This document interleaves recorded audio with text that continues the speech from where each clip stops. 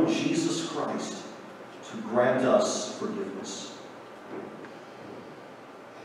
Our help is in the name of the Lord. May heaven and earth. I said, I will confess my transgressions unto the Lord. And you forgave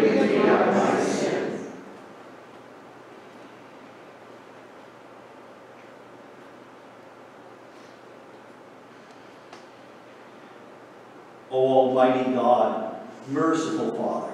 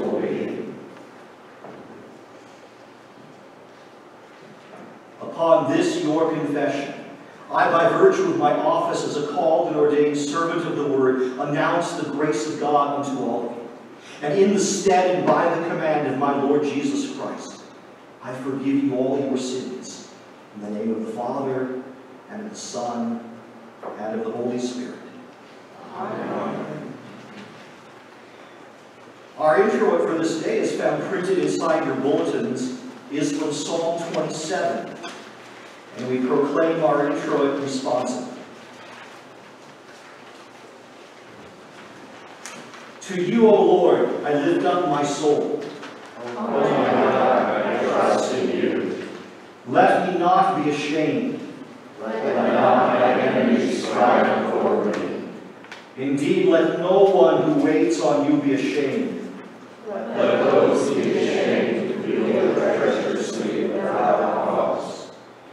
Show me your ways, O Lord. Teach me your paths. Lead me in your and teach me. For you are the God of my salvation. On you I wait all day. The Lord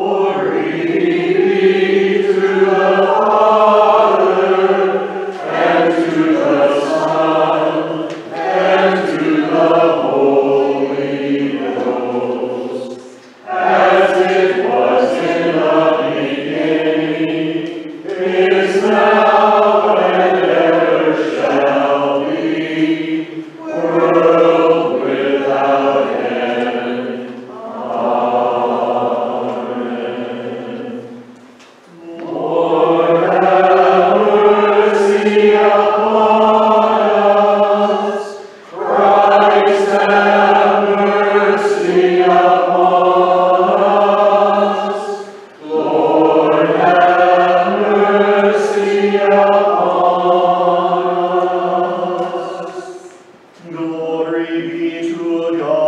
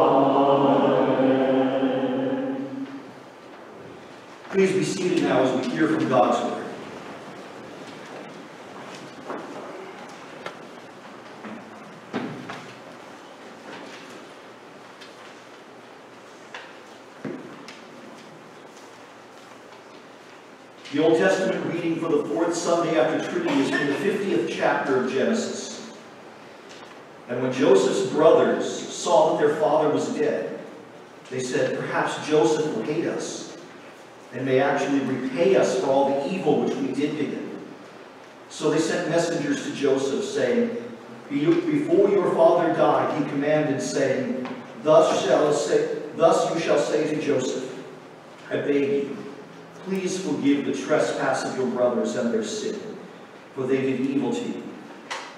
Now please forgive the trespass of the servants of the God of your father. And Joseph wept when they spoke to him. Then his brothers also went and fell down before his face. And they said, Behold, we are your servants. Joseph said to them, Do not be afraid, for am I in the place of God? But as for you, you meant evil against me, but God meant it for good, in order to bring it about, as it is this day, to save many people alive.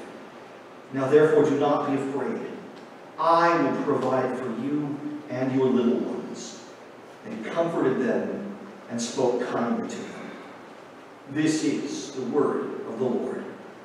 Thanks be to God. Our gradual is from Psalm 79. Atone for our sins for your name's sake. Why should nations say, Where is their God? Help us, O God of our salvation. For the glory of your name, deliver us. Our epistle reading is from the eighth chapter of St. Paul's letter to the Romans. For I consider that the sufferings of this present time are not worthy to be compared with the glory which shall be revealed in us. For the earnest expectation of the creation eagerly waits for the revealing of the sons of God. For the creation was subjected to futility, not willingly, but because of him who subjected it in hope. Because the creation itself also will be delivered from the bondage of corruption into the glorious liberty of the children of God. For we know that the whole creation groans and labors with birth pangs together until now. Not only that, but we also who have the first fruits of the Spirit, even we ourselves groan within ourselves, eagerly waiting for the adoption, the redemption of our body.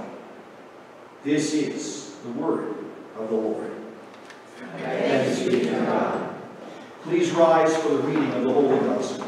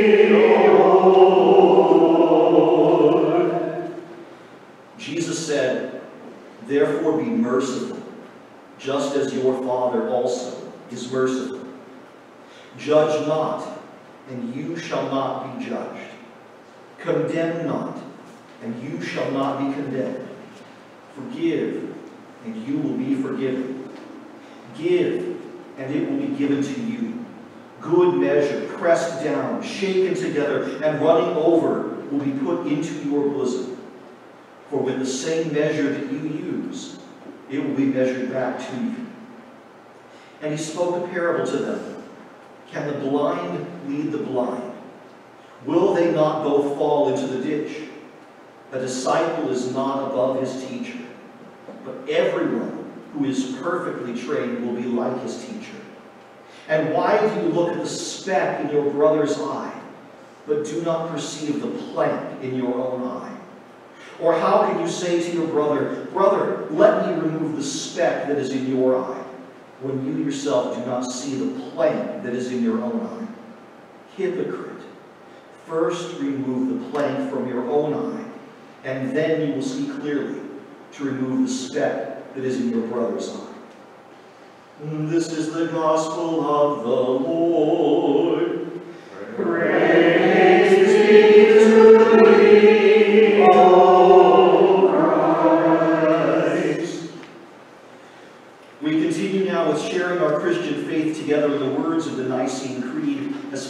page 191.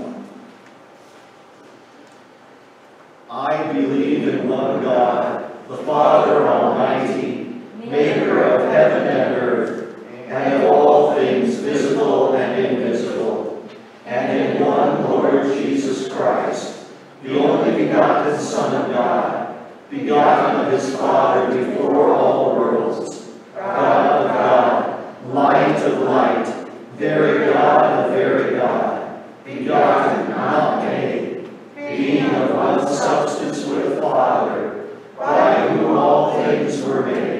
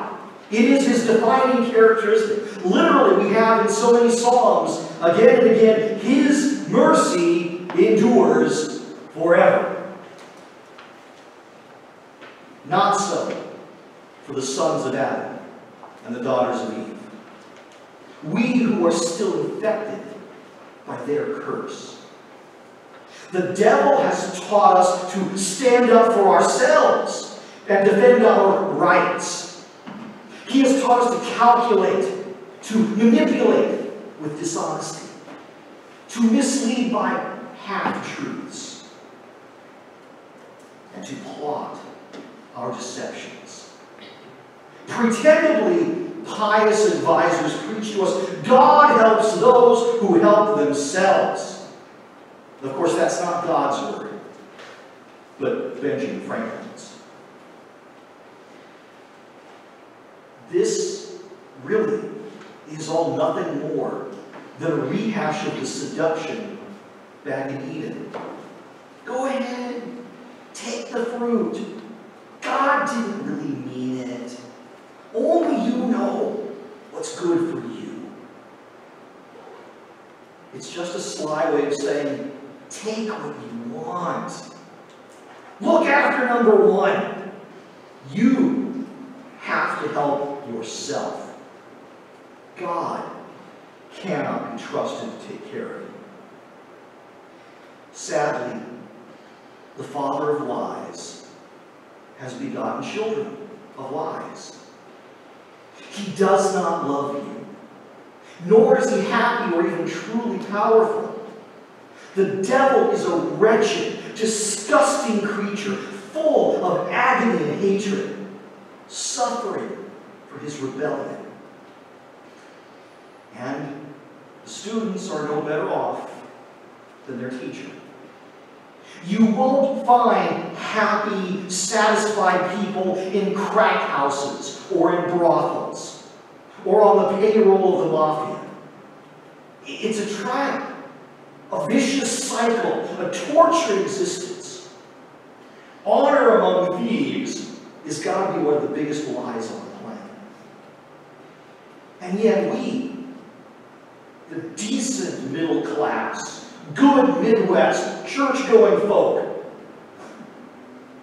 we've lusted for it. We have wanted to run wild and free without a single thought of cost or consequence, indulging every dark fantasy and acting every base desire.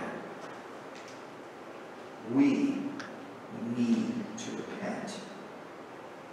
Because that is the way of death. The so-called pleasures of the flesh are not really pleasant.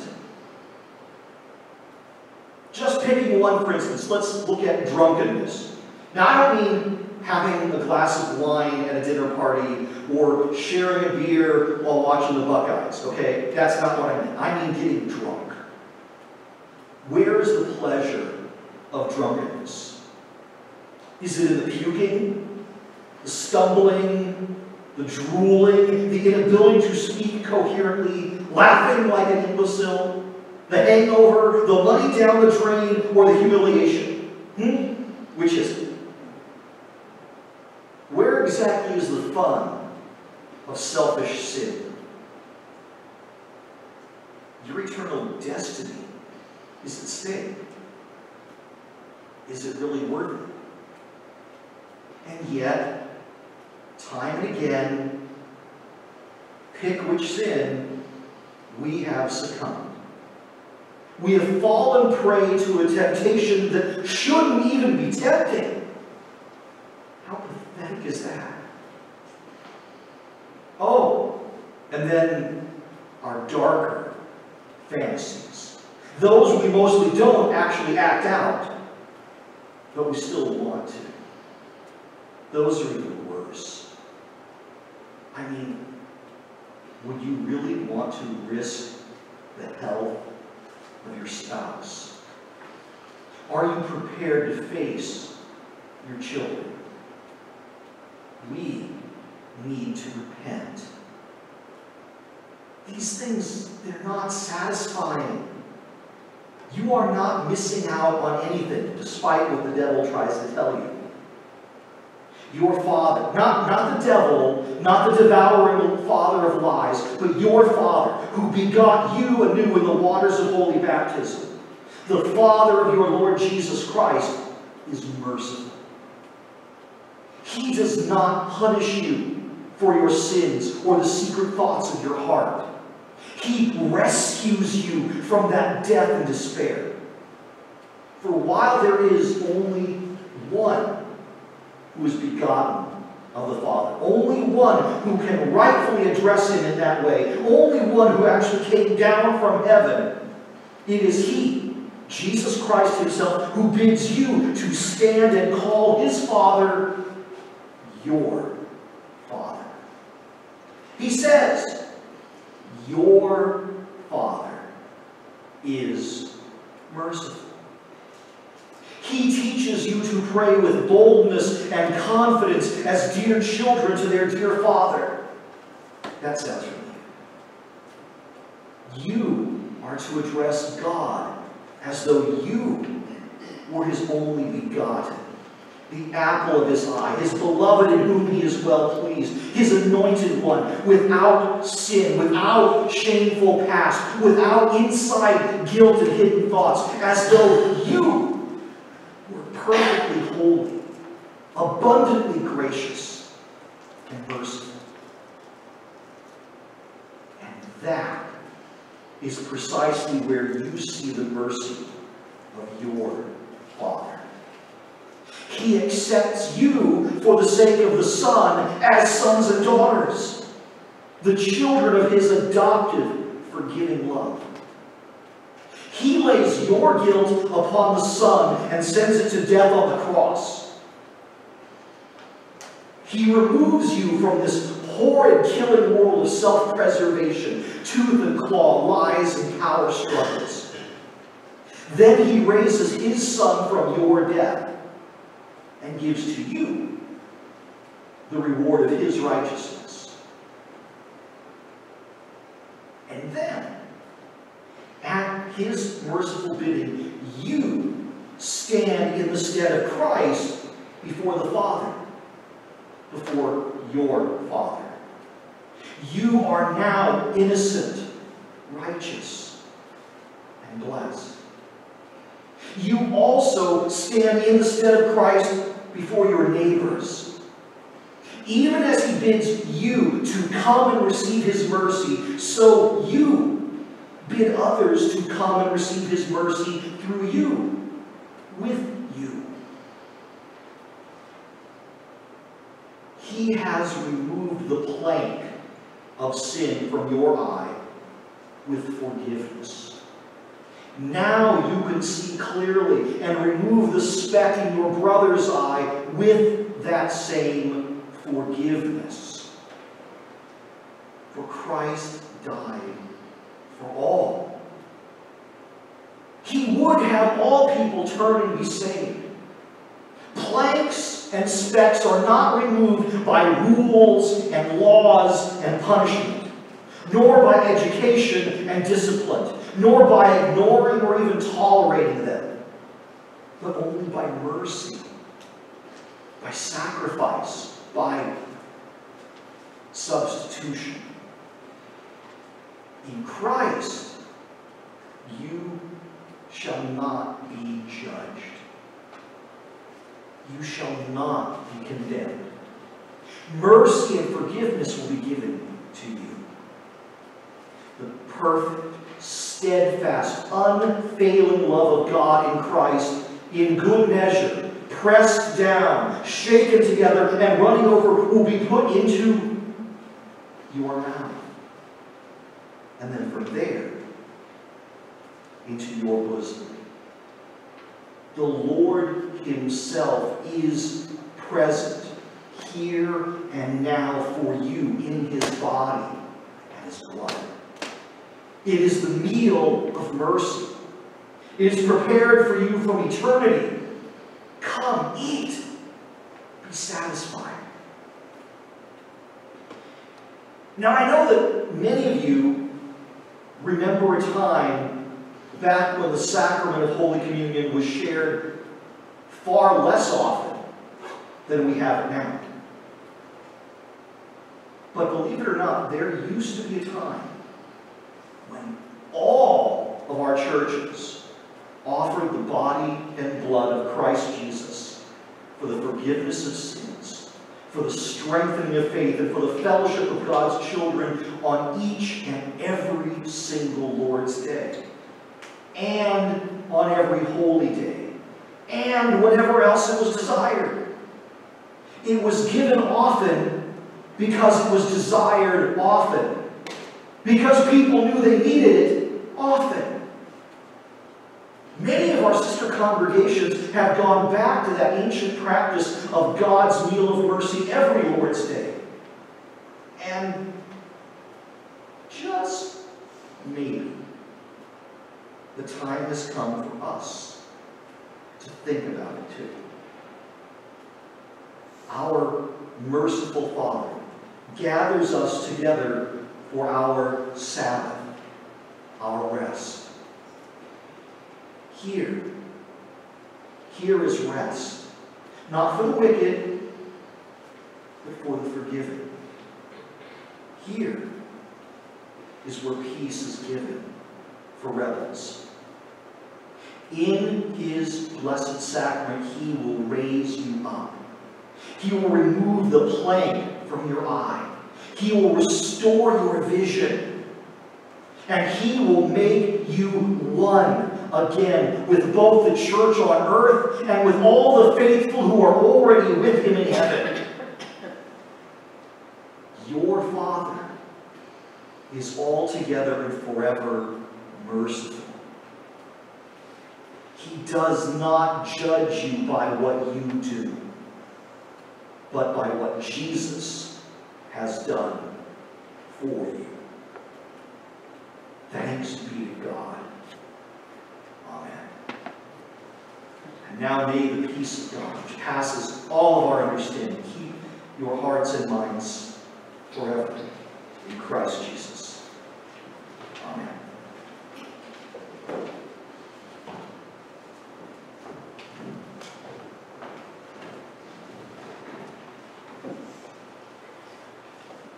We continue now with singing together our offertory, beginning on the bottom, of page 192, Create in Me. Please rise.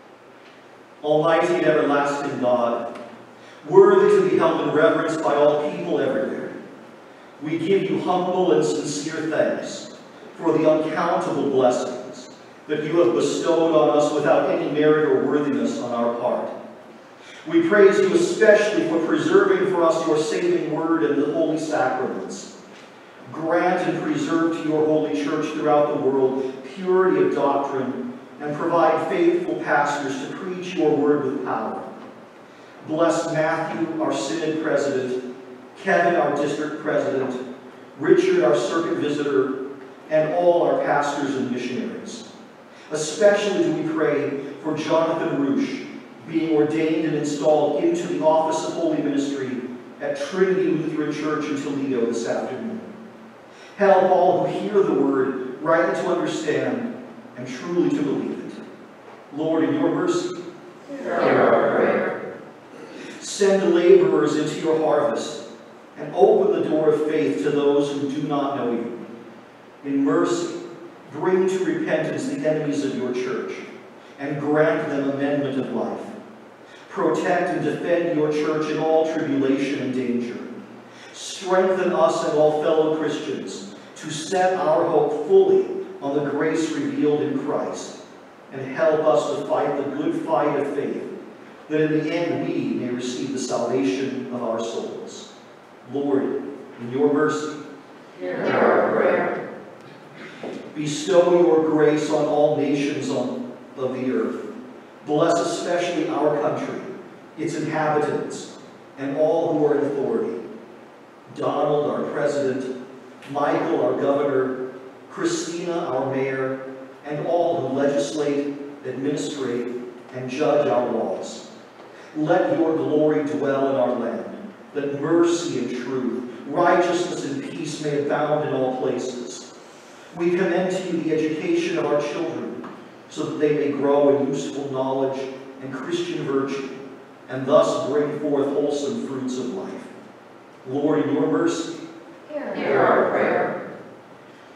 graciously defend us from all calamity by fire and water, from war and pestilence, from scarcity and famine, and from every other evil. Protect and prosper all who labor in their rightful callings, and let all useful arts flourish among us. Be the God and Father of the lonely and the forsaken, the helper of the sick and needy, the comforter of the distressed and those who sorrow. Bless all those who defend us and keep them safe. Especially do we pray for our local law enforcement and Kelly, Sharon, Megan, Samantha, and John in our sheriff's office. Lord, in your mercy, Hear our prayer. accept, we implore you, our bodies and souls, our hearts and minds, our talents and powers, together with the offerings we bring before you as our humble service. We offer thanksgiving for the blessings you give to us, rejoicing in all your gifts of life, especially Glenna, Greg, and all those celebrating birthdays, as well as Martin and Sharon, and all those celebrating anniversaries. Lord, in your mercy, Hear our prayer. grant your Holy Spirit to comfort all who are in sorrow or need, sickness or adversity. Especially as we pray for Jim, Patricia, Mary, and their ongoing needs. Mark, Barbara, Tony, and Mara, and their afflictions. All your people on earth struggling with the pandemic. All in our land concerned with both safety and justice. All those who travel this holiday weekend, they may return home safe and secure.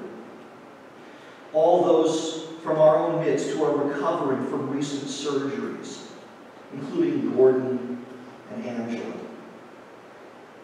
And all those we remember now in our hearts.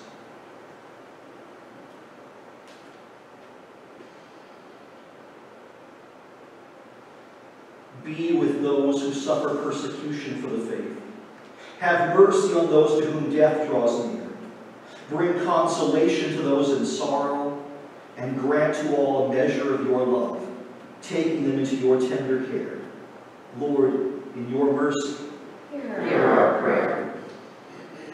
as we are strangers and pilgrims on earth, help us by true faith and a godly life to prepare for the world to come, doing the work you have given us to do while it is day, before the night comes when no one can work. And when our last hour comes, support us by your power and receive us into your heavenly kingdom through faith in Christ Jesus. Amen.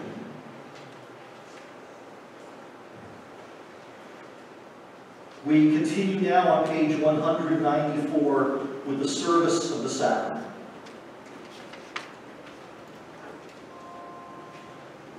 The Lord be with you.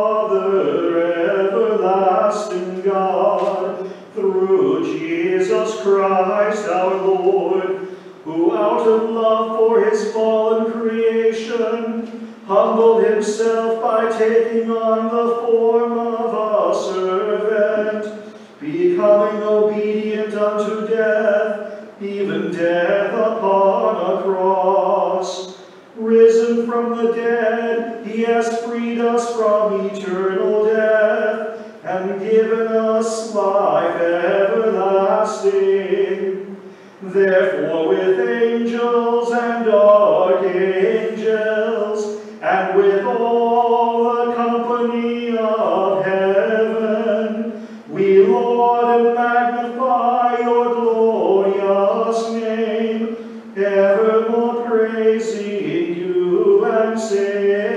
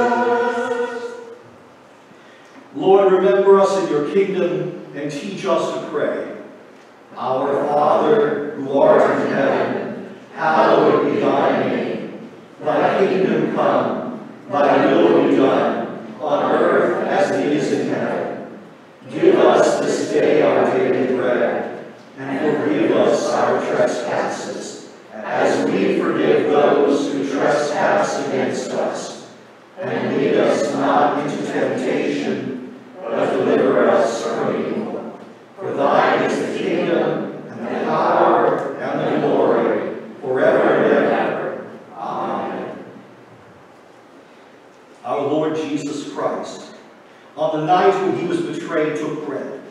And when he had given thanks, he broke it and gave it to the disciples and said, Take, eat.